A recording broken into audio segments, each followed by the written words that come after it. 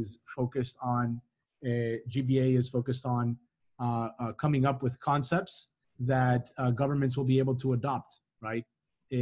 as sort of what the future of what the future looks like in terms of governance and best practices around governance as well. our goal today, in regards to some of the work that's been been, been established by the GBA and that we've been doing around the world, is is really more focused on on getting these uh, has, has for the last two and a half years that we've been doing these monthly uh, a series of monthly talks in miami usually about a different theme that talks about applications and use cases for uh, for blockchain technology distributed ledger technology as it relates to uh, real world applications and not necessarily with any association uh, as it as it pertains to crypto. Uh, so a part of what we what our mission has been is really just trying to make sure that that the lexicon that we're using and the words that we choose to use make sure that people are aware that that that that crypto relies on blockchain for the most part, but blockchain is not necessarily crypto. And so we do have a lot of uh, crypto organizations in Miami that are very active and and, and also uh, very educational uh, that we're collaborating with. But for the point of today's conversation, this is exactly one of the one of the ultimate use cases I would say of, of blockchain technology. In the spirit of blockchain technology which is decentralization and being able to put hands back into the hands of the people. Uh, so to that effect, uh, today we want to cover one of the excited one of the projects that the Government Blockchain Association has been working on and developing, um, uh, and that is quite advanced on, and that is the Government Blockchain Association, a, a, a, a decentralized autonomous organization, right? And so this this this this GBA DAO, uh, uh, in this case, we're calling it the GAO, is indicative more, for the most part, of, of how we see uh, the future of these new models, new models and paradigms perhaps being used by governments one day. Uh, so the GBA, just for reference, is um, uh, we have uh, the founder of the GBA, Gerard Daché of GBA Global, um, uh, on our call today. Uh, luckily for us, and and and, and, and it's uh, GBA is based out of Fairfax, Virginia. Have more than hundred chapters around the world. Uh, uh, close to three years or more now. That's that that we've been working together with and educating with and educating the public sector and the government um, around around this the use case and the applications of this technology, and moreover, is understanding uh, uh, how we can take it from just something theoretical and cool to real world application. So because the GBA is a global organization, because we have, you know, that means that we have uh, uh, country uh, decision makers. Then, you know, in the case of, of, of Florida, more recently, we created a, a statewide last year, uh, statewide GBA a, a, focus, and then as well, you have your, your chapter level, which is uh, on, on, a city level, which tend to be these examples of uh, just like a municipal government. So, so the GAO and the evolution of the GAO as a new governance model using blockchain technology to, to establish and maintain these governance models and organizations on what's called the rules-based system, right? So we agreed to a system and how it's going to work, and now you set it and you forget it, and it should work for the most part. You update it collectively, and this should theoretically reduce fraud, corruption, and injustice, topics that have been uh, on the front of many people's minds quite for some time. So to this effect, um, uh, the the I, I want to just mention generally what decentralized uh, the, the the the goal of today's meeting will be. What are decentralized autonomous organizations, right?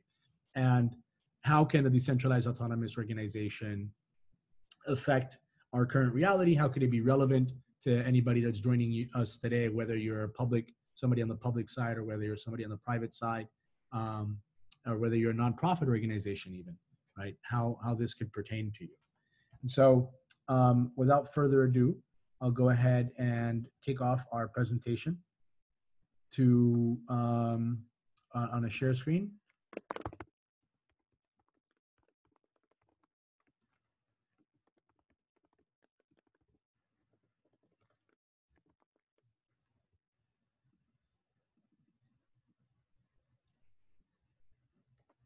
All right.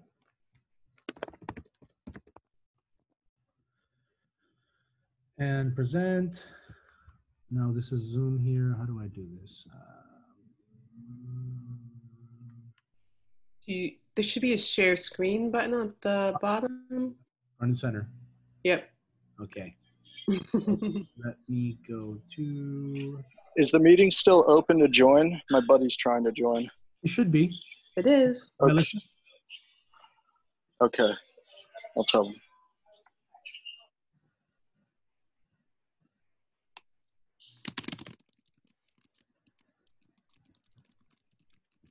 Okay.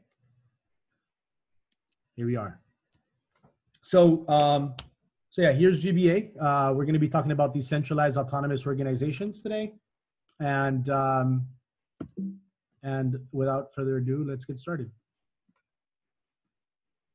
So, uh, the DAO is not necessarily a new concept. There was one that was launched before, and and and um, uh, and so in 2016, uh, mainly Ethereum based.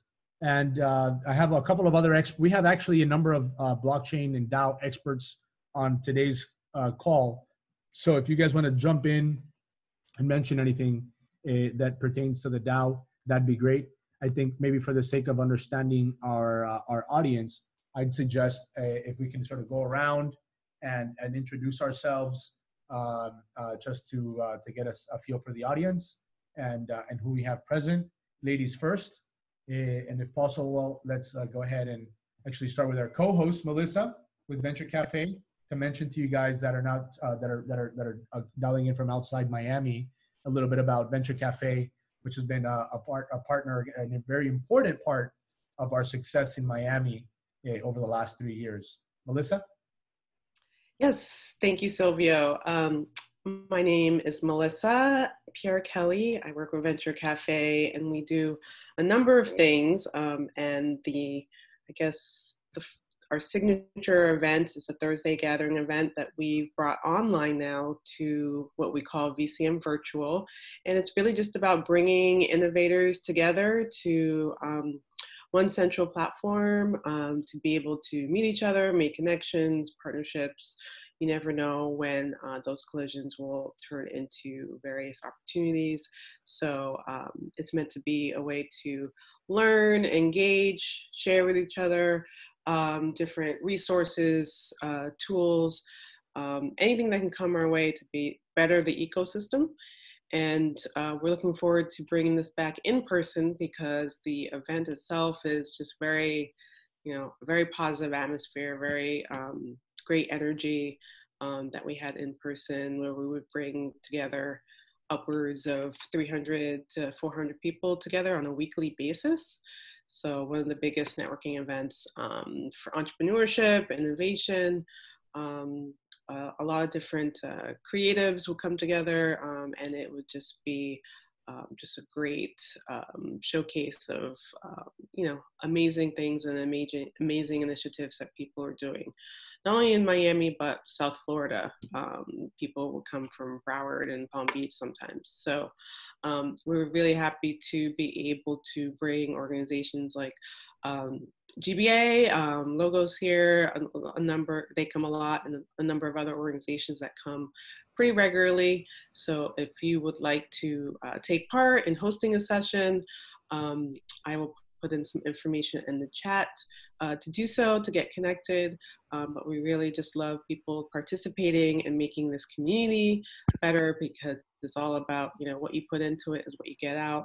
Um, so it's really about um, encouraging everyone's participation in um, being a, a, part of making um, you know venture cafe and also just the the innovation environment as a whole just um, you know work better cohesively um, so i welcome all of you here and we're here every week um, from 4 to 8 p.m so stop in again and you can um, take in a different session um, interactive discussion and also check out the Remo area. And that's like basically our networking that we've brought online. You get to sit at tables almost like the real life and um, meet people there. So this can help you um, add to, you know, your usual day during the pandemic, maybe try something a little bit different.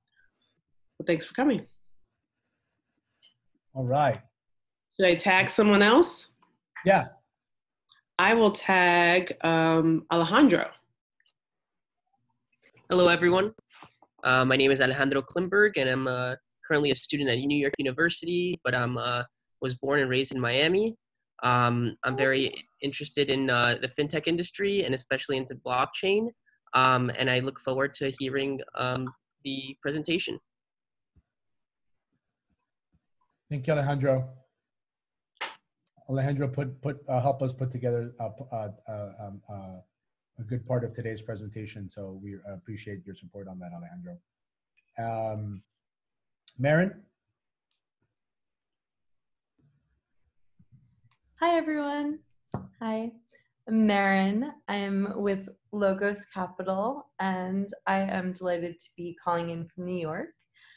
I work with family offices and also several venture philanthropy communities.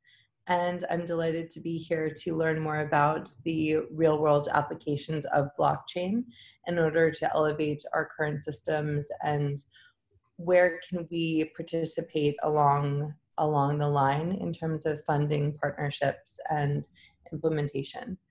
So I really appreciate the presentation. I look forward to it. And Silvio, always wonderful. Thank you for the invitation and for bringing us all in. And Melissa, thank you for beautiful hosting. Really appreciate it. Delighted to be with you all. All right. Thank you for that. Um, and um, Marin, who could you tag somebody next? Usually we go. Usually we go clockwise around the room and around the table. Uh, so it's a it's a little harder today. Seeing um, uh, Praveen. Seeing Malachi. Are you there, Praveen? Maybe, maybe. We uh, also uh, go, perhaps, perhaps, Jean Claude.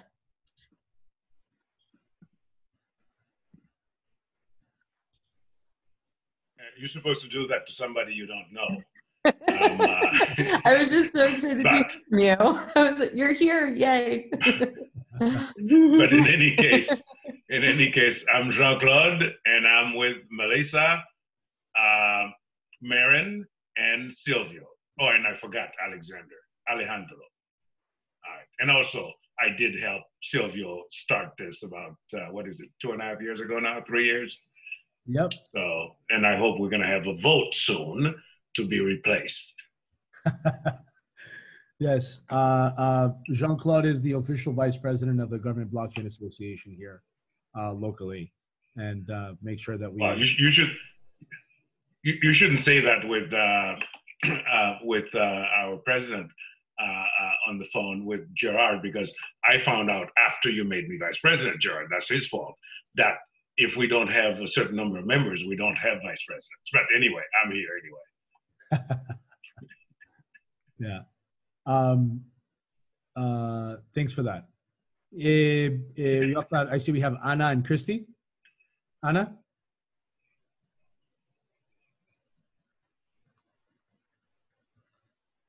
Christy?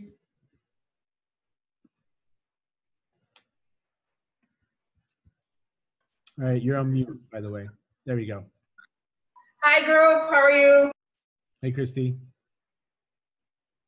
I'm new to blockchain. Uh, I just Hello. started doing some research on it uh, because you know of COVID, and I'm intrigued. Um, I just started a, a consulting business, so I'm just checking. I just want to see if I can apply um, any, you know, anything to blockchain to my business services. So that's why I'm here to learn. All right. Awesome. Good. Welcome. I think I heard my name as well. I wasn't sure.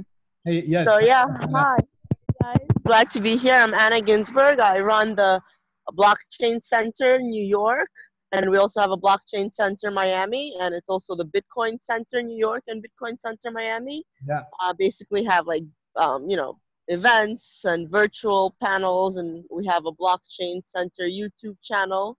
And we have regular shows like Trading Tuesday, and there's one tonight about enterprise blockchain at 7 p.m and we have the telegram group so if you'd like to connect with the blockchain center on telegram I posted the link.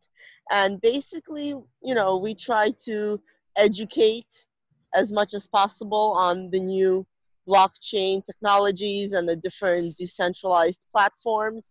And we also work with large companies to help build technology and to facilitate community building and you know everything that you would expect from blockchain center so and now we're actually um, i'm thinking of opening up maybe in a few weeks the new location on broadway and 82nd street we have uh, close to 10000 square feet um, Oh so, wow.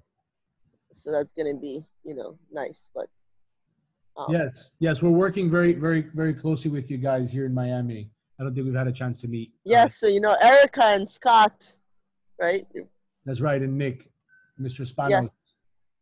Nick Spanos, yes, perfect. Great. Thank you for being with us. Ana. Scott and Nick are actually in New York at the New York Bitcoin Center. We're having a very, very small private just meeting. I Okay. guess you could say Okay. later on. But I'll tell them you said hello and yes, please join us and reach out. Thank you. Thank you so much. I'm enjoying, you know, looking forward to see Yeah. what you guys have. Yes, yes. We always we always need to have one of your well, somebody from the team uh, on board. So I'm happy that that that you're able to join us. Um, Victoria.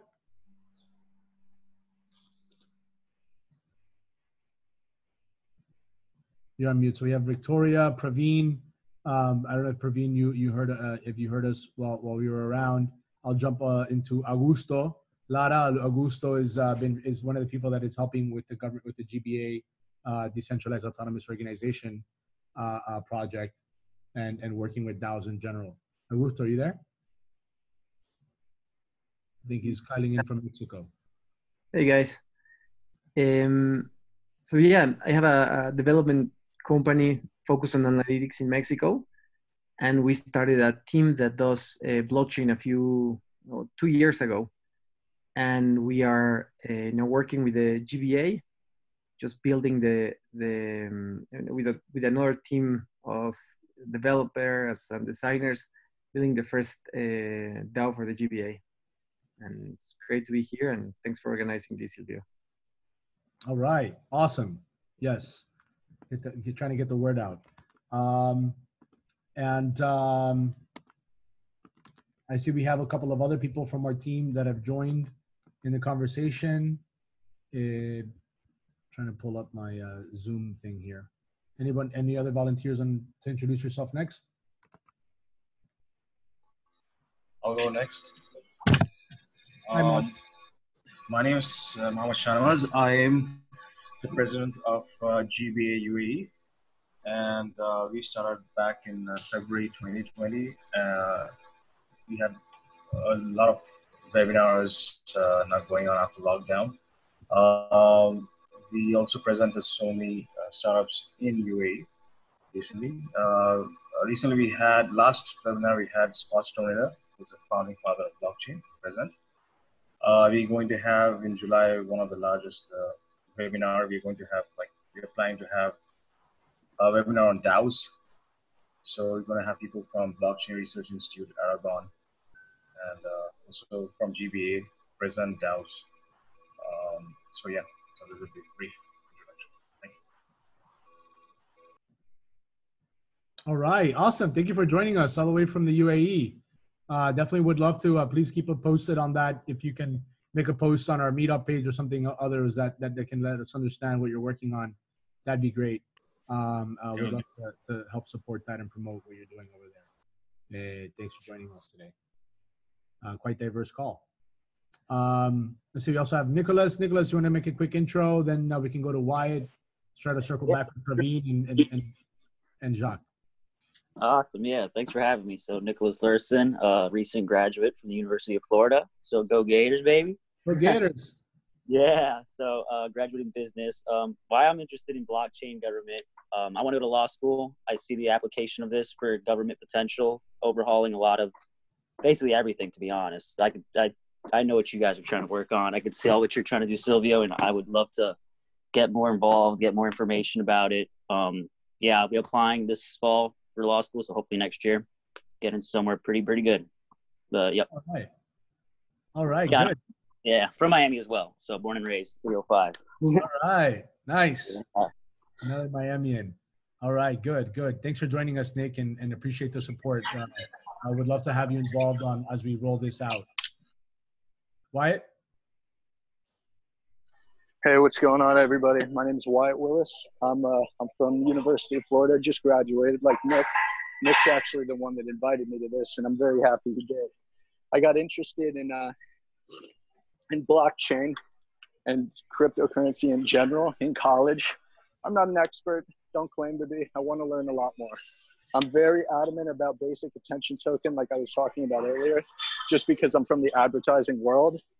And the fact that a, a website, a search engine will pay you to watch advertisements that are targeted to you is revolutionary, in my opinion. I, I honestly would like everybody to go and check it out if they haven't already. I really do think it's got a good use case. And who doesn't want to get paid for watching ads? I mean, bottom line, it's so boring. Every time an ad comes up on YouTube, you just go and skip it, even if it's targeted to you. But if you're a paid, right, right, yeah, no, you're absolutely on point. Um,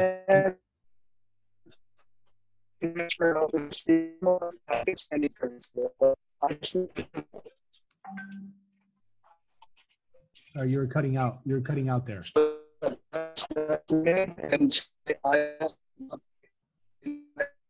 And I Oh, I think uh, my headphones about to. Damn, I just leave the gym so I can start to this. Uh, essentially, yeah, I, I'd love to get on any listeners and future meetings. Uh, bottom line. Did you hear that?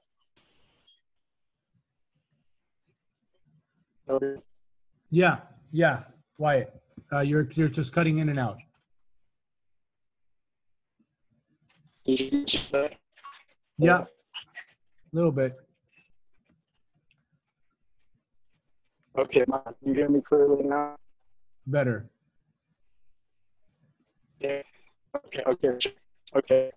I'm happy to be here and I want to inform about future. Okay. All right. You can the next person. Okay. Um, uh, J- uh, Jonathan IABA.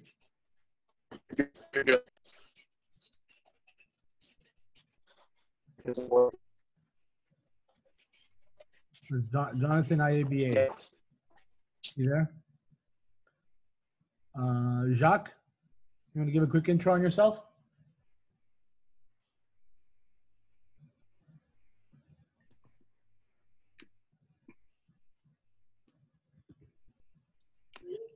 Um, sorry. Uh, good evening, everyone. And uh, my name is Jacques Bekondo, and uh, normally I'm a I'm a blockchain developer, and uh, I do uh, uh, blockchain program strategies at Logos Capital, and at the same time I'm involved in uh, technical solutions and uh, standards for the uh, COVID-19 and also standards and blockchain governance for the, the IEEE, which is a national organization for standards. Uh, that's pretty much uh, my roles at at the moment. I appreciate being here with everyone. Thank you, Jacques. Okay. Ya- Yair? Oh.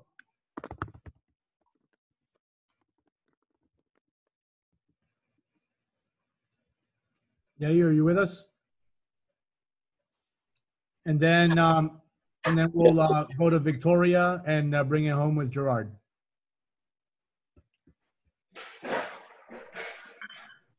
Yes, Hi, Silvio. Shay. Oh, sorry. I'll go next.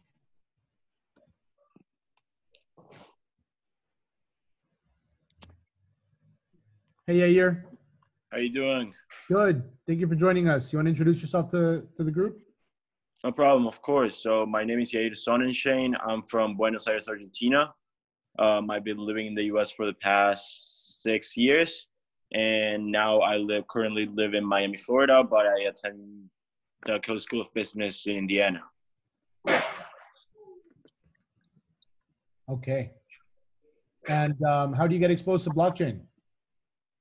I was exposed to blockchain actually by you, uh, by our first conversations when we started talking over the phone and got into Logos Capital. It was a very interesting idea that you that you proposed about how the future is going to be operating with uh, this blockchain activity, and it seems very interesting to learn about.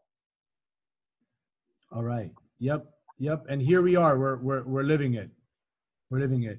Okay. Well, Yes, I that's um uh, that's super helpful. Thank you. And No Victoria. problem. Hi. So I'm originally from Sao Paulo, Brazil, and I moved to New York City for college. I went to NYU and just recently graduated. I studied international business with a concentration on sustainable development. So I guess what first uh, attracted, like, draw, uh, what draws me to Logos Capital is this um, impact investing primarily, but I've also just been recently exposed to blockchain and look forward to learning more about it. All right. Awesome. Well, thank you for that. Good. I think that uh, let's bring it home with uh, with none other than Gerard Daché.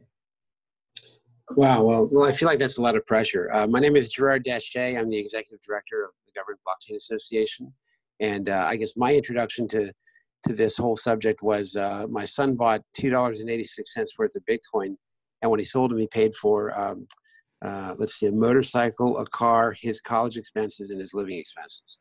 So it kind of got my attention. Um, found out that blockchain was the secret sauce, and we started a, a little meetup in DC. And not too long after that, um, uh, Silvio came on board. And, uh, you know, once Silvio came on board, the thing just exploded. So if, if you know him, uh, he's had great uh, influence on, uh, on GBA, uh, not just there in Miami, but, but all over the world. So super excited to be here. And, and I know that the whole, the DAO governance team and the Miami team are just phenomenal. And uh, can't wait to hear uh, what they have to say.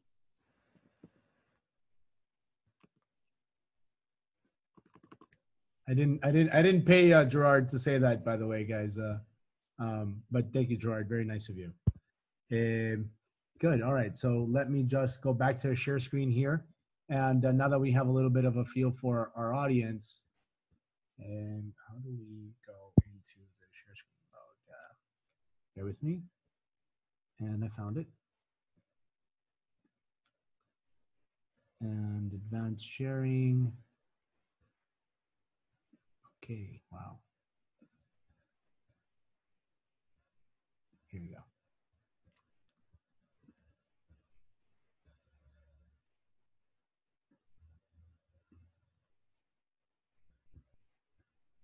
All right. So, um, what is a DAO? Let's jump straight into it. 2016 was the first time that a DAO got made, and this idea was based on this uh, on, the, on this thing of okay, let's try to decentralize even something that a financial transaction can do. Um, so it's done. So during this four week, the DAO was uh, was was uh, was was launched. They started issuing uh, issuing to- DAO tokens in exchange for Ether, um, and they raised about 150 million US dollars. 150 million, right? And this really starts to create what the, what is now considered to be the the, the you know in the same of, of, of fundraising and the application of why the DAO was made of decentralized finance or DeFi as is most commonly known. But there are two main issues on why the first DAO uh, changed, and one of them is really just software. Right, there was a vulnerability issue in the in the program that uh, uh, that allowed hackers to get into the into the DAO, and um, and and they took the fund. Basically, fit, figured out a way to rig the system, and they took about a third of all the funds uh, out of the DAO. Uh, so big big ouch um, uh, in terms of the vulnerability points. And the other thing was that you know it didn't account for for um, for the vulnerabilities that are usually uh, associated to and the protections that are usually afforded by things like joint stock companies, right? The, some of the first uh, companies that would work on um, more than anything, just you know, the, the first legal company or legal entity or third party entity. Uh, and moreover, uh, there was another thing that's more specific to the U.S. is that because they were selling these these security tokens, um, you needed to be to be a a, a, a what's called a um, an authorized buyer or a qualified purchaser uh, for the securities. Uh, in this case, what would be considered a security, right? So they were sell, you know, people were able to buy these things that that according to to to rules and regulations at the time maybe shouldn't have had access to this kinds of uh, this kind of thing as an investment or an asset class or anything that has to do with the DAO. So that created a number of vulnerability points, um, both not just from from the exposure on the capital side, uh, but moreover just on the legal and the compliance issues. If you're more interested on that, I can I'll tell you a little more about that. So, but what is it? Okay, I mean the first one was launched. That's great. That's fine and dandy. But why does it matter, and what's so important about it? Uh, decentralized autonomous organizations um, is what this uh, we're referring to as a DAO. Is um, uh, by uh, by its first instance is decentralized, so there's no centralized legal entity, right? Everyone and multiple players can be a, a as you see in this slide, um, a verifier or a validator in the system, right? And it's also something that is autonomous. It can only be autonomous because of this self-enforcing code, right? This idea of uh, we figure this out. We, once we, we understand our rules of governance, then we can agree that this is how we want to be ruled or how we want to rule ourselves or what we want to at least start with. And that gives you this autonomy. And the way that decisions are made are really done by these smart contracts. Smart contracts are really just program, program decisions. Um, uh, but they could also be your traditional legal contract where you look at bylaws, just as we will look at later today, and you say, okay, well, if these are the bylaws and the ways that we agree as an organization to make decisions, how can we agree to make decisions using these bylaws and, and agree that, that and, and sort of every time we just come, we vote and, and according to the minimum requirements, we, may, we, throw, we cast in our ballot and decisions are made. And these things are really run by tokens or exchanges or validators. That's one way of architecture um, uh, that, that's possible. Uh, so uh, today, you know, I think one thing that we'll notice is we're talking about particularly not just the concept of the decentralized autonomous organization, but that the government uh, blockchain association is going ahead and doing their own uh, uh government blockchain association, decentralized autonomous organization called GAO, which we'll get into. But in this case, one of the fundamental areas and one of the pillars and cornerstones of the decentralized autonomous organization is this thing called the distributed ledger technology. And distributed ledger technology is meant to um, to talk about you know how do you record transfers between digital assets and, and people? Uh, so you have you keep you keep a, a, record and and that it's in a way that can't really be manipulated because you synchronize a copy of all the of all the records that are shown in the system and everybody keeps a copy of the records in the system so it's not like i can change something on my end and then hide it and hide it from gerard let's say over there in washington d.c or hide, or hide it from our friends over at the UAE. No, if I make a change on my contract, his document updates automatically and our other counterparties documents update automatically. And that's kind of one of the beauties and one of the cornerstones of, of what makes this disruptive is because multiple parties um, uh, are able to keep records of these logs and, and hence a distributed nature of it. And all of these, uh, the third cornerstone just of blockchain in general is that these things and these ledgers and logs are cryptographic, right? And what does that mean? You know, it's just the way that they are stored and saved uh, uh, is uses advanced mathematics and encryption to be able to uh, uh to work. So traditional systems are these centralized ledgers, right? Usually this would work, and this is idea of a, a distributed um, uh, system. All right, so how does it work? Um, you don't need uh, one central authority. It's, in this case, all the transactions happen uh, through this consensus protocol, which is how everybody agrees to agree, right? And the agreement there means that each one of these users need to understand how they play a part. Uh, you know, are you going to create a permission or unpermission system? We can get into that if you're if you're interested in learning more about blockchain basics of what permission and and and and, and uh, non-permission based systems uh, look like we, we do cover that um, during our GBA uh, uh, fundamentals course. And how mature is this technology? Uh, well, distributed ledger technology has been around over a decade now, first published by uh, Satoshi Nakamoto on a white paper called Bitcoin, a peer-to-peer electronic cash system, uh, which is the first theoretical framework for the distributed ledger technology. Um, to this to this effect, right? The peer-to-peer and the reason that they came up with blockchain was so like that people can't just copy and paste and abuse the system, right? Once you put something on the record and you made a transference of, of a payment or a system, it's irrefutable. It stays on the record forever. So people can't continue sort of copy and pasting money around. Uh, and they're able to, and that's really what, what, what, one of, one of the conundrums needed to, to be solved was in order to adopt digital money. Now, who's the Government Blockchain Association? Um, uh, I'd actually like to give you a, a, a short presentation on, on the GBA. Um, but we have we have uh, uh, Gerard Daché uh, here, which is one of the uh, founders of the GBA. Uh, and this was, as you heard, right, it was started as a local meetup to talk about the technology and the use cases of technology. And for those that you might not might not be familiar with Gerard's background, Gerard was in charge of auditing uh, different situations, different companies that that we're providing uh, a very important supply chain or decision making systems on the technology side. Uh, so very very you know very active with government suppliers and government entities on that on that front.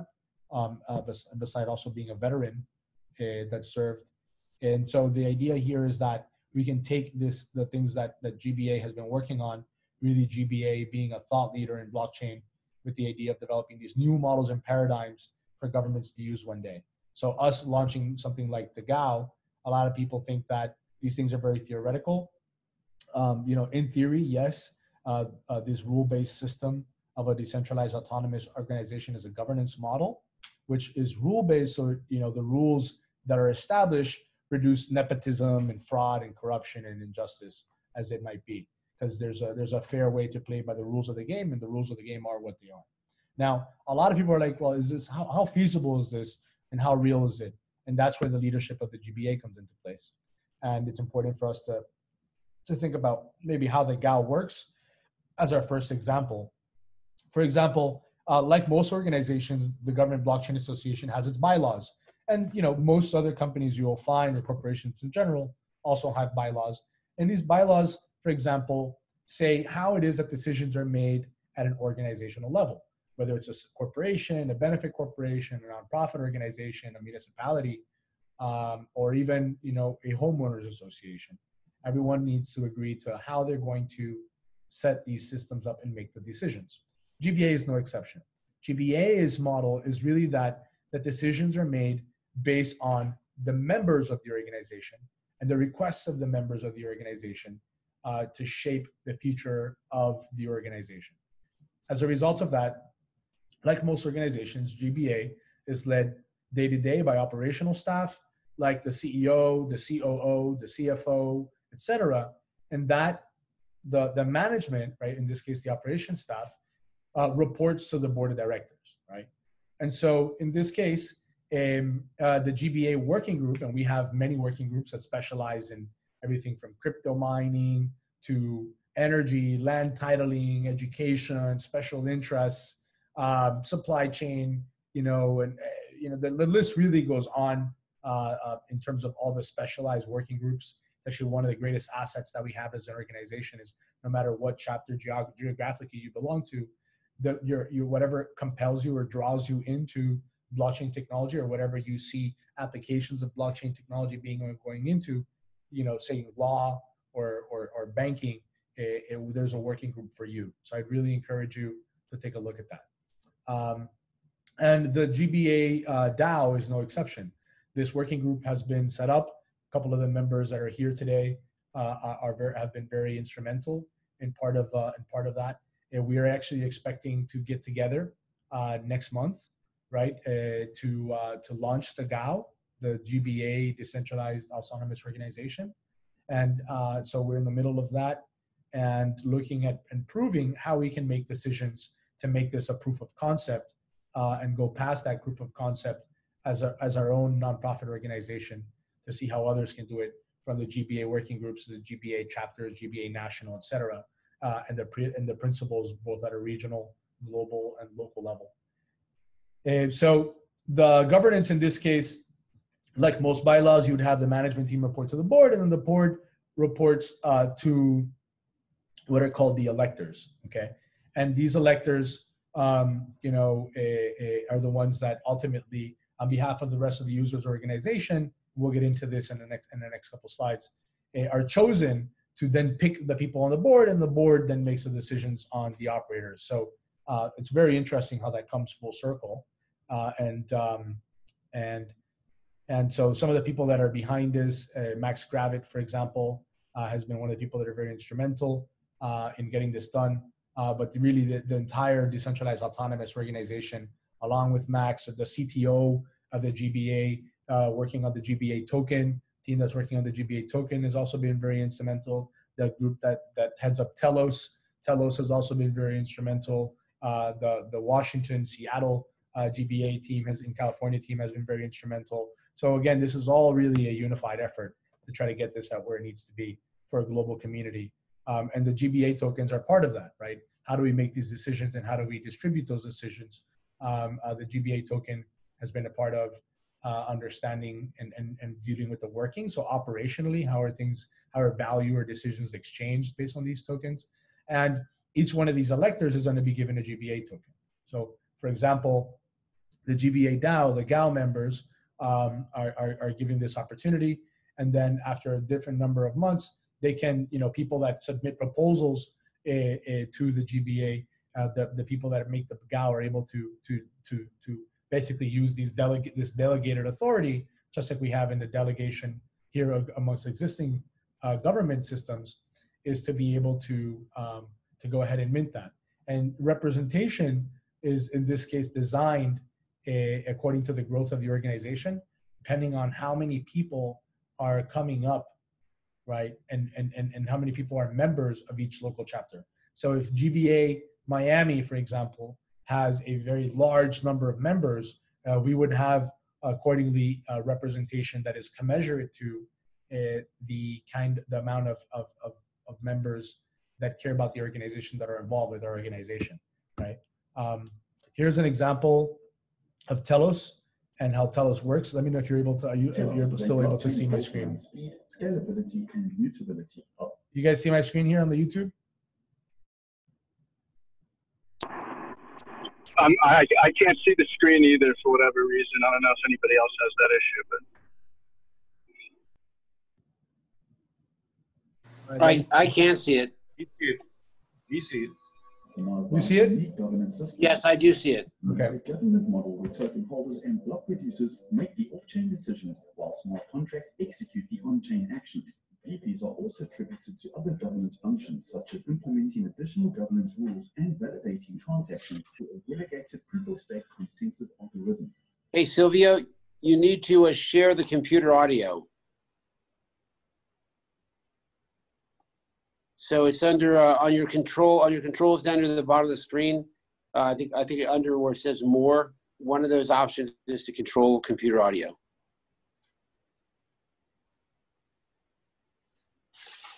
Or uh,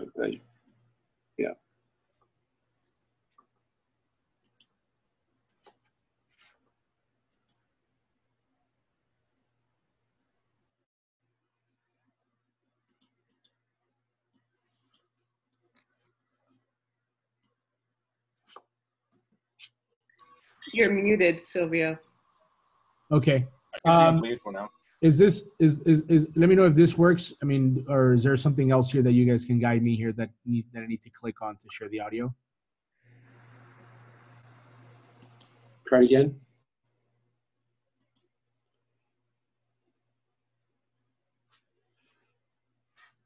Yeah we we cannot hear the audio. Okay all right so then maybe i could um maybe I'll relay here what uh, what the. Oh, right there it is. Can you hear it? I think we're hearing through your speaker.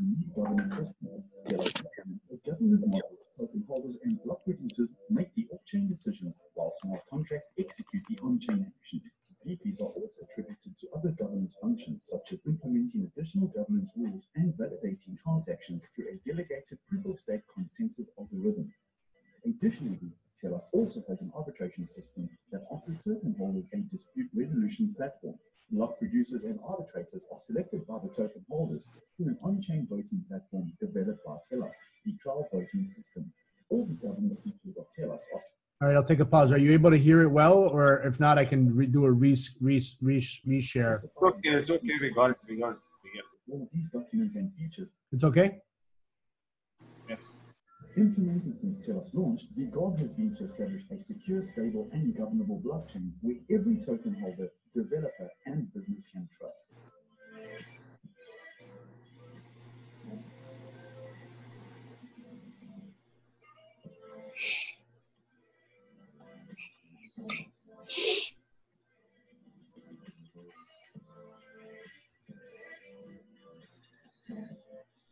Right. Mutability optimized by So, um, that should give you guys a little bit of an idea of um, of uh, what we're doing on the um, and I did the other presentation uh, um, of, of how this is of how this comes together and how this works together uh, for um, for the DAO. Okay, let me just go back into sharing my presentation with you. Um, bear with me.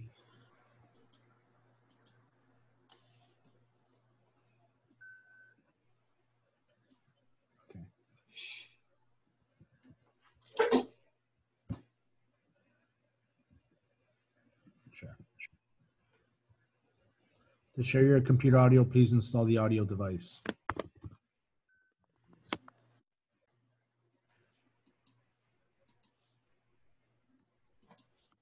Right, you hear me well? Can you guys see my screen? Yep. Yep. All right. So this gives you an idea a little bit about Telos.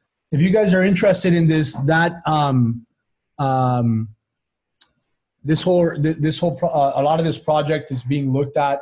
Uh, Telos is, is, is a good framework that's been proven. Uh, depending on what you're doing and, and, and some concerns and things that you should be aware of is what are the legalities and where can you actually incorporate a, a DAO?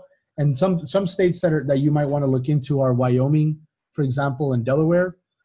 Uh, we ourselves, um, uh, I registered a number of uh, of my companies in Wyoming uh, because of the laws that are there. And so you want want to understand that that the DAO is either its own group uh, or its own company, uh, but they're also maybe registering in places that have what are called sandboxes, right? And these legal sandboxes allow you to experiment with new things, especially when you're using financial technologies in a way that could be uh, helpful. Uh, and going further on this side of, of, of jurisdiction, uh, there's also this idea of maybe just being able to set up your DAO as a limited liability company, right? And this is there's one such project is the LAO uh, that was launched by um, by Open Law. Uh, so uh, essentially, what you do is you have, um, in the case of the LAO, for example, uh, you have the the Delaware limited liability company managed by that, uh, which is which only will raise money, for example, from accredited investors, so they're not running a file. This is the second iteration of a group that's trying to do uh, the the the DAO again in a way that meets and complies ex- under existing legal structures that weren't around the first time that the DAO was made. Um, both from a cybersecurity perspective, people were more careful about launching it, uh, as well as from a compliance perspective to make sure they were running around, uh, running a, running afoul of the law. Now, the idea with the with, with this LAO uh, that we were able to uh, uh, to be with from from from from their early days of, of, of, of pre-launch and seeing how it worked out was that it limited the participation of the members to be uh, investors only. And the reason is that the LAO was set up as a way to become a venture funding vehicle. Uh, so people would be able to submit their deals and then you would invest as a, uh, as a, um, uh, as an investor, right? You'd be able to invest in this LAO and then you vote depending on, on the amount of money you put in, you know, what, uh, which deals you like. And then the rest is sort of executes the and the allocation of the money into that, for example, uh, uh, definition. So uh, the membership interest, for example, in this case, and this is a real world example that was just released uh, last month, uh, the month before, at the end of maybe June, uh, no, in the end of April. Uh, so the LAO could be purchased through public sales. Of course, to stay compliant, it's only going to accredited investors, meaning that people have to have a million dollars in assets or make under $150,000 a year in combined to be able to count these regulations. conduct an attorney uh, and a lawyer when looking more into this that's near you for your for your jurisdiction. But for the most part, this at least gives you an idea of how this concept was taken of of the DAO and then saying, okay, let's use existing legal structures. Um, so we essentially you have an evolution of what the joint stock company was, the first C corps and B corps, et cetera. And, uh, and, and, and, and this is for that of the, um, of the law. So that, uh, those are a couple of the, the real use cases that we have um, uh, with the DAO. Uh, I think that what could be re- really relevant, uh, for example, in this case is for us to look at uh, sort of you can look at the GBA here and and and how GBA is working. If if, if, if this is okay uh, to share, Gerard, um, just to give people an idea. So the GBA electors, for example, 21 electors. I'm one of the 21 electors. Uh, Gerard, as the founder of the GBA, has basically set up a group of the people that he trusts to sort of carry on the goal of the organization. and and this is a governance working group. So essentially, what we'll do in this early stage, where we're at right now, is we're gonna uh, enroll the GBA electors. So we're gonna have these 21 electors. I'll get a Genesis token as one of the electors, and then we'll start giving proposals, right? So anybody that's in the call today, for example, it's part of a GBA Miami uh, uh, uh, chapter or anywhere else for that matter, as one of the as one of the board members of, of the chapter representatives um, uh, part of my goal is to just keep open ears and eyes for, for the suggestions overall of things that, that could be important, how we suggest proposals that are, that are, that are voted on. And then of course the voting of these, of these proposals and then creating, publishing, completing challenges for members to own tokens. So mo- members of the actual GBA turn tokens. And as you know, right, we, our, our goal as an organization is to bring both the government officials to the table to say, hey, these are the problems and the obstacles that we have. For example, in the city of Miami, we have an obstacle or right now there's a challenge on being able to identify how government officials and city officials and people can open up the public given the the, the hectic mix around covid-19 in which and and and we can create an open call of saying okay what are different contact tracing solutions that will allow us to open up parks and know that uh, with a with a degree of, of surety how we can go ahead and implement a solution uh, and in this case, that could be one example, right? And then we would, the, the city would vote or the residents would vote on what these things are. Uh, and, and, and the people that, that win the pitch competition get to earn tokens, right? So now you have a way for the organization to, uh, to, to, to, and now again, this is a beta. Okay, this is not necessarily, you should, you're gonna be careful on how you're doing this. Um, one of the things that's worth noting is when you have the tokens, do you, you know, do you sell the tokens in a secondary market at a cash value and things like this? And these are important things to take into consideration uh, because then they can talk about whether it's a security token, whether it's a utility token, and now we're, we're in a whole another level of conversation. For the take of today's conversation, we want to keep it really simple, right? And just say this is an example of maybe something that your organization can do. Um, so here. Could you explain the founder's Genesis token? Yeah, yeah. So the Genesis token um, is um, is really just the, the issuance of the first the, the, the first tokens, the first of the 21 tokens that are going to be awarded, right? So the electors, where to go? The electors are going to be given just one token, and that and and those are the first GBA DAO members. So the essentially it's the minting of the first. Okay, so let's say we're thinking about a joint stock company, right? Let's take a quick step back if you are an investor, okay, you could or you you could have preferred rate, for, so you can have a, a token that's that's just financial return, but then that's also separate from governance, right? And let's let's think let's keep in mind that we're talking about governance today.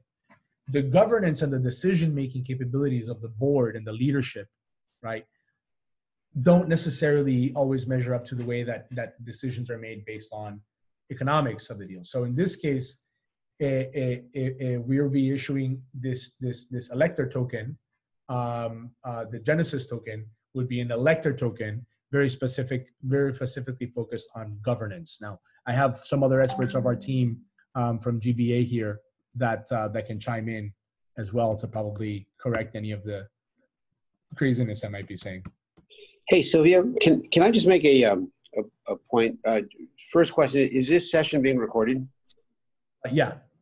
Okay, so I need to make sure that it, it's very clear that what we're doing, when we, we talk about the GBA uh, DAO, that what we're doing is, is something that is, um, that is in effect happening at the working group level, right?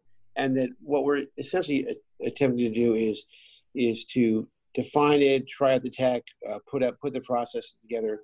We, you know, we, it's essentially uh, piloting it at, the, um, at the working group level. And, and then, and once we know that uh, the tech works, that the concepts work, the tokenomics works, the legal regulatory work, then we, um, then we will bring it up to higher and higher levels.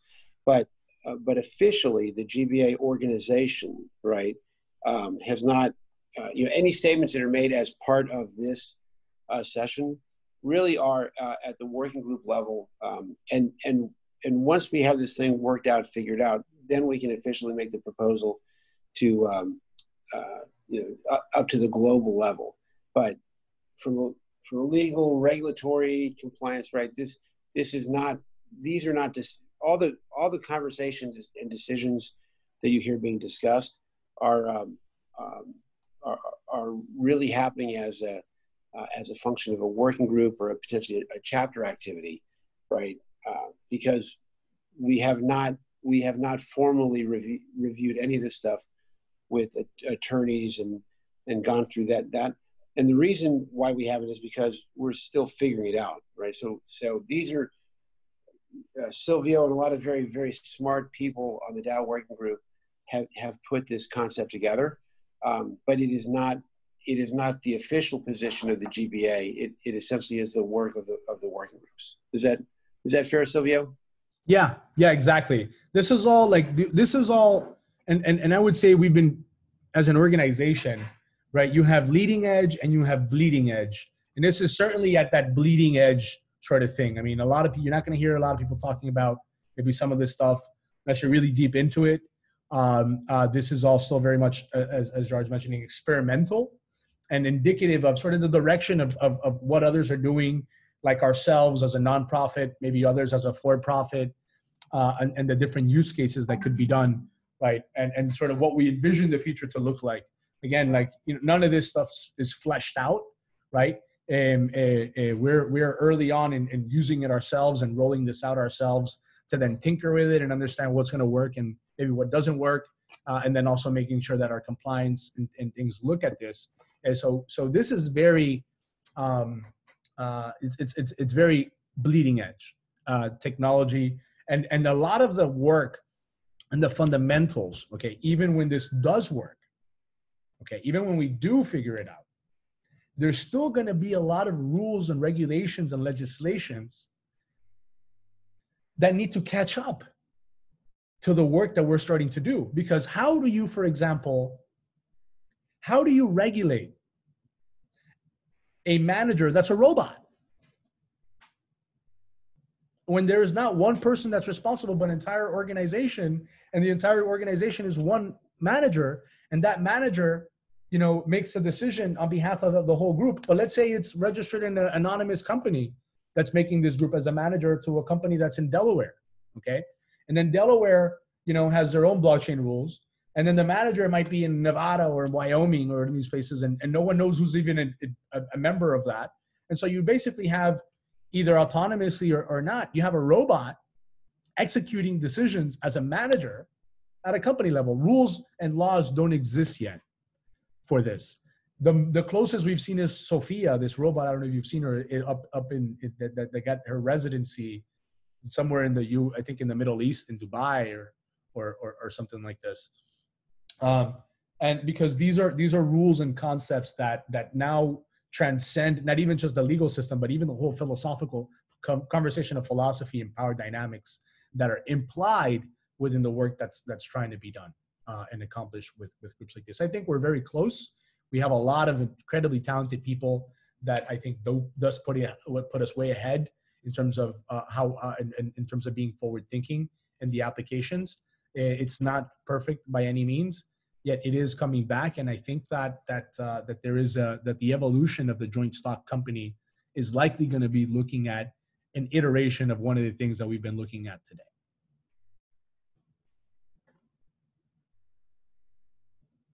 And I don't know if someone else has anything that they want to add, uh, uh, maybe to this point.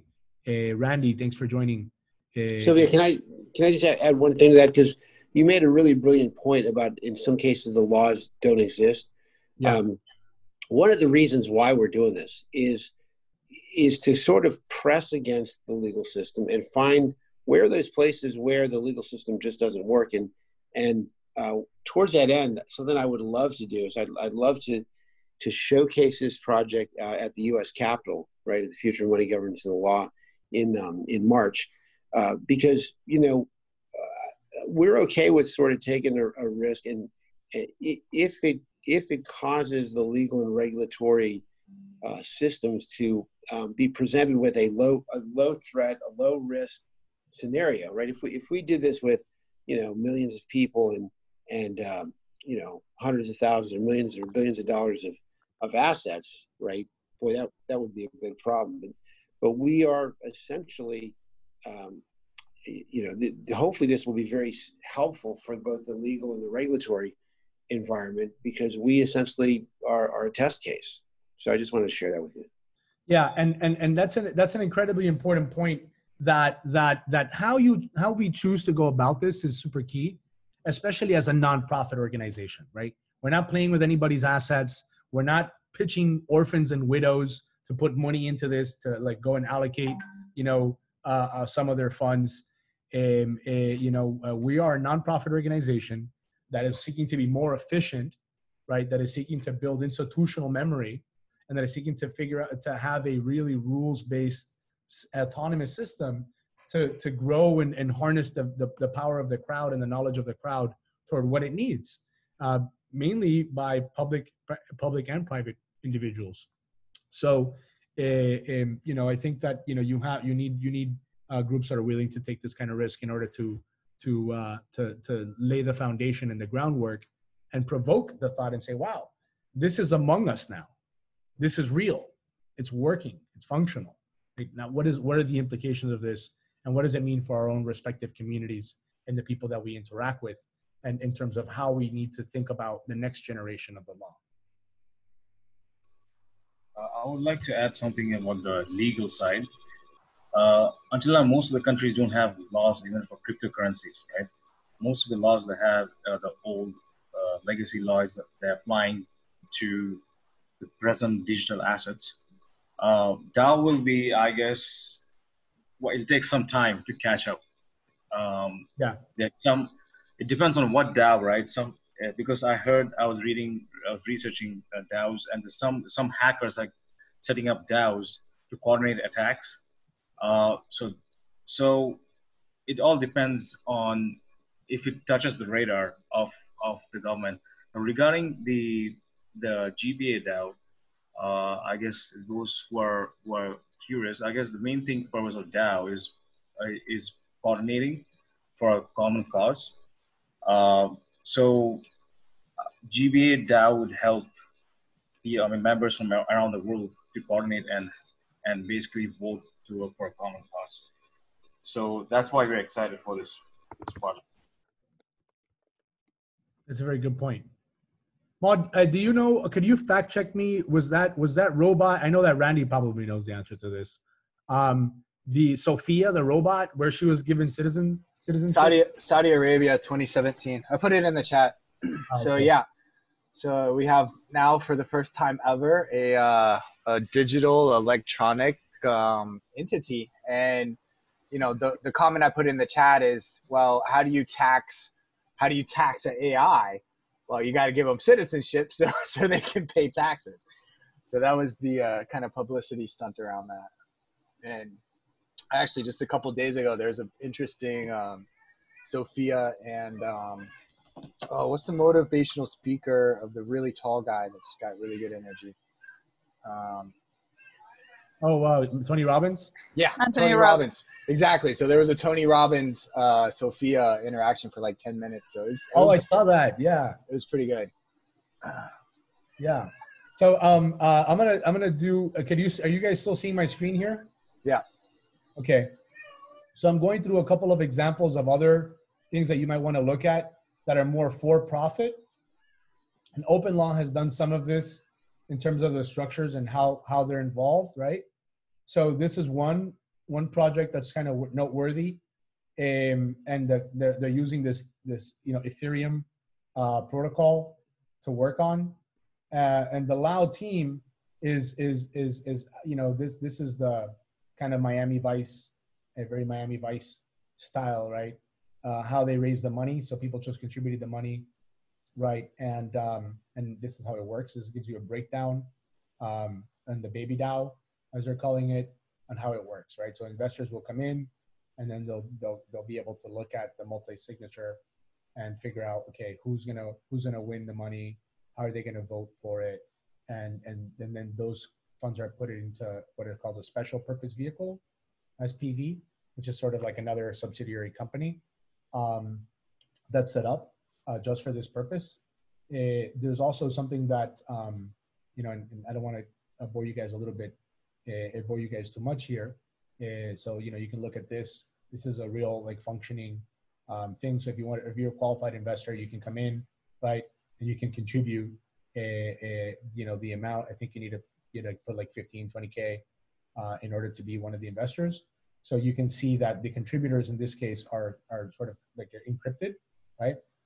If you're voting, right, and, and in the case of maybe GBA, and one of the limits of of of, te- of Telos is that it's not uh, it's not encrypted, it's not anonymous voting, it's public voting um, but you can see sort of how much is, is left so you can down. So we, we, actually want to do blockchain and angel investing, right? So we might do a similar structure as a for-profit venture um, uh, that really starts to collect more capital, uh, for example, in, uh, you know, in all this com- the compliant way. And there's a Wyoming um, uh, laws that um, uh, that were passed that really relate a little bit to the to the DAO and uh, and how it is that that these Wyoming laws are passed. Block 512, particularly, uh, is what I would draw my attention to, right? And here you can see that these guys are starting to lay down the groundwork for corporate governance, right? And um, more specifically, that your stock certificates or tokens and all these other things that are necessary for it to work, and particularly um, because you have to do a lot of like maybe like blockchain to blockchain transactions. If you do it outside of a state, you need uh, you need to be careful with what are, what's called the money transmitter licensing. Uh, so they have an exemption for money transmitter licensing in Wyoming. Something for us to think about, even as an organization at GBA. Um, now, uh, we we ourselves as Logos Capital have registered a number of companies in Wyoming under this series called the Series LLC structure. Okay, and this is what I would encourage you guys to look into if you want to look a little bit more into what's happening. Is this HB 126, and this is a corporate code that allows the formation of the series um, to be able to have all these different types of securities. So you can have uh, one one limited liability company and then a number of other limited liability companies come under it.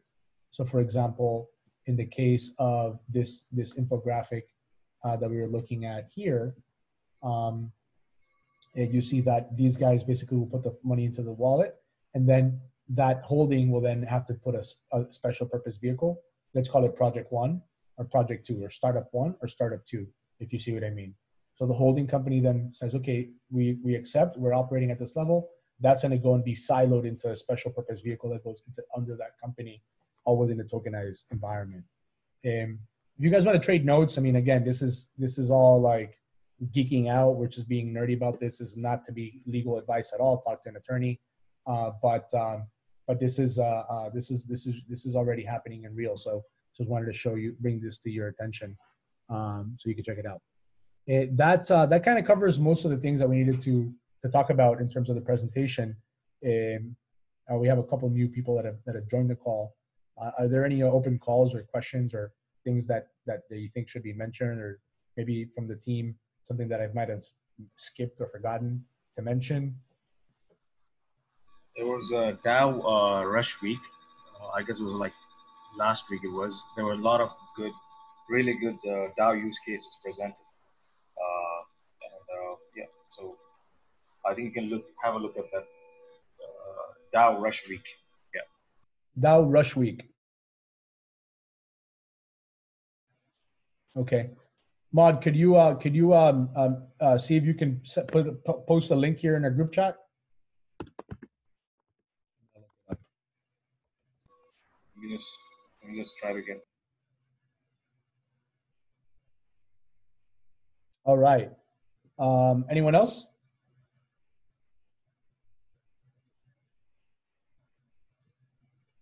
DAORushweek.com. I found it. I'll go ahead and paste it for you guys here for those of you that are interested in learning more.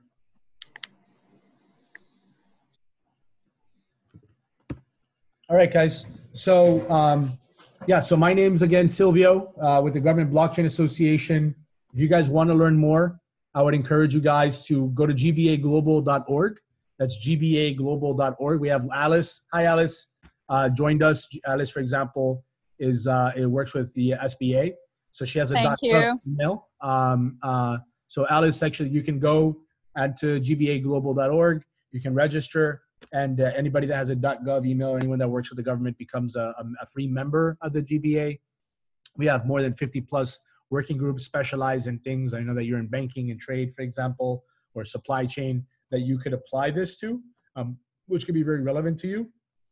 And the GBA is hosting a number of block uh, of certifications in blockchain fundamentals. Uh, um, uh, we are not we're doing blockchain fundamentals, and we have a series of others that people that want to get deeper into that, uh, depending on, on, on if you want to be a consultant uh, or technical with uh, with the work that you're involved, or be a trainer of other trainers to be involved. Uh, we're also very involved. we're also doing that. we also have a couple of special tracks within blockchain and the certification program. If you want to do engineering, if you want to do legal, if you want to do medical, uh, where you know there is a specific blockchain track uh, for that. Uh, Gerard, I don't know if uh, is there something that maybe you'd like to to talk about any upcoming courses. I know that uh, we're looking at doing one joint course, hopefully in the next couple of months here. That should give everyone this blockchain access. And Gerard has several going on as well. Yeah, if you go to gbaglobal.org and under events, just go to view all events. You will see that uh, uh, they're they're in different languages. So I think uh, I think our chapter in Spain has um, uh, some of the courses in in Spanish. We're in the process right now of reviewing the legal course for Australia uh, and New Zealand. Um, so our, our, our goals, we, we basically have two goals. One is we want to get 100,000 people through the training. And um, and the second goal is uh, we want to be able to support people in, in many different languages and uh, all over the place. Yeah, so if you just go to, to under events, go to view all events. Actually, yeah, I'd like to show them two things. View all events. So you can check this stuff out there. Uh, we do ask all of our chapter leaders to put um, uh, their events on there, so you, will find all kinds of different topics. Um, the other thing, Silvio, is if you can go to the top of the the top of the page and go to certification, right? And then when it opens, scroll down on the right near right near the bottom. You'll see something about uh, for more information. Uh, it's a training information page or something. It's right below there. The link right below there. Yep. If you click on this, if you're interested in any specialized training, these are uh, training courses that are uh, delivered by GBA uh, training partners and so there's all kinds. There's a there's development courses. There's cryptocurrency investigator course, all kinds of stuff. So if you if you click on that, fill out the form, then that lead will go to the training partner in that vicinity. And, and so they got engineering courses and all sorts of different courses. We're hoping over the over this next year to be uh, to putting putting a lot of. Oops, what what page? What'd you click on? Financial professionals. Ah, we uh, we made a change to that yesterday. I got to go in and fix that. Uh, uh, yeah, yeah. I'll, I'll, go in there. I'll go in there. You can scroll. You can scroll down. The, the links all go to um, course descriptions down down below it.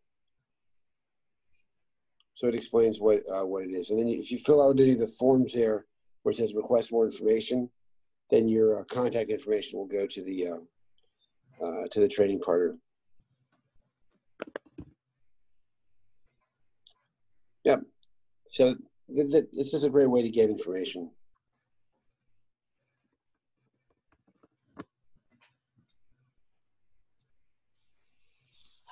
Great.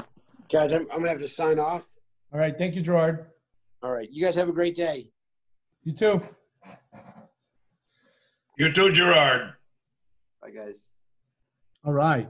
So um, that uh, that covers most of the stuff that we wanted to cover um, for today. Yeah, but I want to take advantage that we have Randy um, uh, uh, on the line and to talk about a little bit of the smart city projects that we've been working on and and that we're coming up on. Hey, Randy, maybe you um, can talk a little bit about what you're uh, what you're doing and how we're laying down the foundation for a smart city here. Sure. Let me. Uh, oh, there goes the privacy cover. Um, hi everybody. So yeah, we we I've you know been with with um, Silvio and Jean Claude and the Miami group. Uh, man, since what 2017, end of there somewhere. Uh, we've been helping to grow uh, this wonderful community for many many years, and we knew that eventually the fruits of our labor would come to to um, fruition, and we have recently um, arrived at that that point in time. Um, so I've, I've joined a uh, co-founded a new startup called Emrit, uh, which you can see the mirrored version here. Uh, but basically, that.io is our website, and from there, what we're doing is uh, my company invests in the hardware infrastructure layer of networking for IoT uh, sensors. Um, so the I- Internet of Things. So I put in here uh, the website that, or or maybe you want to go to our website, Helio, uh, Silvio, or uh, pass me the screen share. Um, but with this, we're we're funded by a VC. So what we do is we basically, uh, you know, we can buy a bunch of these hotspots, but the tricky part is, you know, not is having a lot of different locations to put the particular. We've all used Wi-Fi. Let's got the sound. Yeah. So what we've come up with is okay. Well, we'll invest in the hotspots and we'll partner with uh, different organizations, different individuals, and now you get a hands-on learning experience um, with uh, blockchain, with tokenomics, uh, with IoT, radio frequencies. There's a lot of different technological layers that are built into this. And it started in 2013 uh, from the guy that founded this, uh, Helium, is the same guy that gave us person to person, peer to peer, P2P file sharing and Napster, right? So everybody remembers Napster. Uh, so that same guy created Helium and he said, hey, why don't we create a from the ground uh, scratch blockchain as well as network infrastructure layer for the robots for IoT and the sensors that's uh, going to be in billions and trillions of demand coming up here in the next 10 20 years so they worked really hard on it and uh, finally got the software got the hardware everything in alignment um, and they launched um, last summer around august september or so um, now there's about 4,000 of these hotspots around the whole uh, United States. Uh, we have about 13,000 hotspots that are going to be launched globally around the world. Uh, we're launching Europe and UK. Just got announced um, today publicly. Uh, we have a, a partner in, in, Europe that we're going to be launching that network there, uh, and then Asia at the beginning of next year uh, in January or so. And what we have right now is uh, you can see on this website in the top right corner, become a host. Uh, you just put in your shipping information and your installation address. You can have as many installation addresses as you want. It um, is will take uh, about 300 meters is the minimum uh, distance that you need apart from each other. Um, and then, you know, some of these things can go miles or tens of miles uh, across for connectivity one one hotspot device can handle about 65,000 different sensors, and we're talking about low power, um, low data consumption. So the types of data that get sent is 24 to 255 bytes, not kilobytes, not megabytes, not gigabytes, but bytes. So it's really a long text message. And from there, it's basically, well, what sensors uh, would free up human time that can be offloaded to robot machine time and uh, not cost much power and not cost much, uh, um, you know, data uh, connectivity, and that's where the Helium network layer comes into place. So, um, you know, a lot of our our uh, initiatives are focused towards smart cities, right? How do we reduce the inefficient workload of the humans, um, such as something simple like uh, dumpster dumpster trash can monitoring and scheduling. So instead of just every you know Tuesday going on your normal route to hit all the trash cans, um, with a sensor inside, you can basically see when it's half full, three quarters full, and and schedule accordingly. So some of the success stories there are you know saving uh, tens of thousands of driven miles by giant trucks. So you know of course also helps the the uh, eco uh, friendly reduction with uh, CO2 emissions and as well as a lot of costs in man hours, uh, you know, or human hours, um, as well as miles driven. Um, and one of the things that we recently posted in LinkedIn was a partnership collaboration with a sensor device manufacturer called Smart Mimic. And uh, with that, their focus is on the food processing industry and maintaining and uh, reminding, reinforcing social distancing uh, type of um, you know protocol. And so on this little tiny device, you know, half dollar size, quarter size, and you know it has alerts, it has uh, sound alerts, it has light alerts. Um, if you're you know approaching six feet or less than six feet, and then it also has tracing anonymously, right? There's no names involved of the employees; it's only the trackers, and it's just hey, this tracker was um, close to another tracker, and this person was uh, tagged as having COVID, and you know who else did that person? Uh, who else did that person, you know, get in touch with? Heat map, density, things of that nature. So that's what we're approaching a lot of the smart cities with. Uh, yep, Silvio's loading up the uh, map right now. We got over 4,000 hotspots, um, and so you know, Wyatt just asked, uh, how do you get one in your city? Well, I'd put the Emrit.io website and you go to that website and you fill in the information. In the referral field put gba miami or gba mia uh, and then that way we'll we will um, send 5% of the um, earnings of all those hotspots that sign up uh, to gba miami. So you know they'll have more funds to be able to uh, you know produce better presentations and you know more um, type of uh, activities and promotions and events for for the local Miami area. And uh, yes, you can trade your helium tokens. Um, they're HNT. Uh, they're about 30 cents right now on the uh, coin market cap and a couple other exchanges. Uh, in a few weeks, it's going to be listed on a major exchange in the United States. Uh, we're expecting that you know the, the token, of course, will will go up in in price as it goes on. Um, so with uh, this particular program that we run, um, you know, we have a, as well. I'll drop a link here to, or not a link, but a file. Um, or uh, let's see here. So we have a Discord. Okay, let me let me put the Discord. That'll probably be the easiest thing to go to. So you can come to our Discord, and in there, um, we'll have a lot more information that I can share with everybody, but we have a particular, um, we have different programs to help you get more more coverage in your area. And again, this is no cost to you uh, financially up front. It's more um, your time and finding new locations for hosts. And for that type of work, we, we do a revenue share with um, those people. Right now, the hotspots are about $425 each. That's the investment my company uh, believes is worthwhile to um, invest in and send and send um, those hotspots to you. So there's a lot of security that's going on. Um, it's all end-to-end encrypted. Pretty much just the user um, knows the information that's going on, or not pretty much. It is only the user that knows the information that's going on, and you can point it to you know your AWS IoT cloud, or you can point it to you know whatever server that you want. Um, so I just dropped in our Discord chat there, and you can ask more questions there.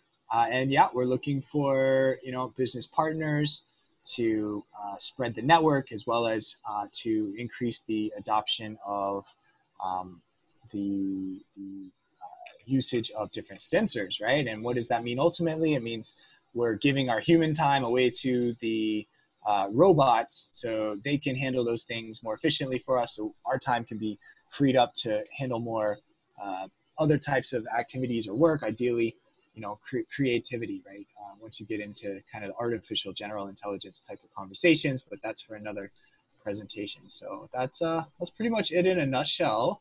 Um, you know working with silvio he'll, he'll have a lot of answers too.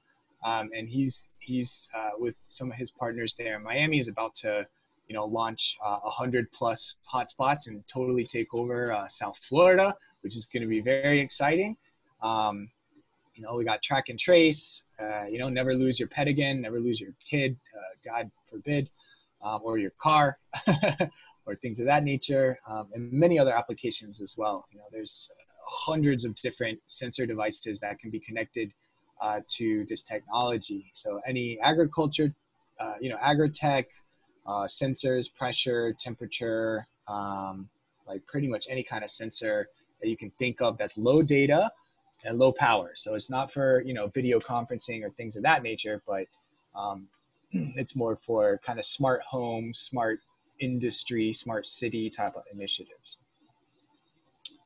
All so, right. Good. That's uh, so the, the, future is here, guys, and and and Randy, uh, brought to you by Randy Lee and Company. Um, if you guys are interested, you can DM me.